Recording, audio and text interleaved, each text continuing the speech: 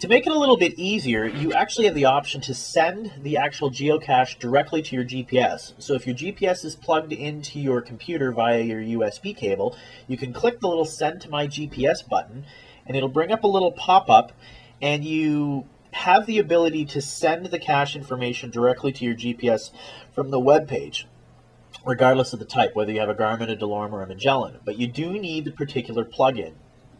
So in this case, it's showing you the Garmin plugin.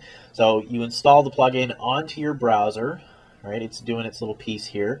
And once it's done, it will attempt to detect your GPS. And once it finds your GPS, you can just click that little button that says write, and it will send the uh, geocache information directly to your GPS, and you can look it up from there. All right. So in the case of the Garmin, there was a plugin there. You also have the option for DeLorme all right, it gives you some information about that. You don't have a plugin. There's also a plugin for the Magellan. So depending on your GPS, you can send the information directly to it instead of having to write the coordinates down.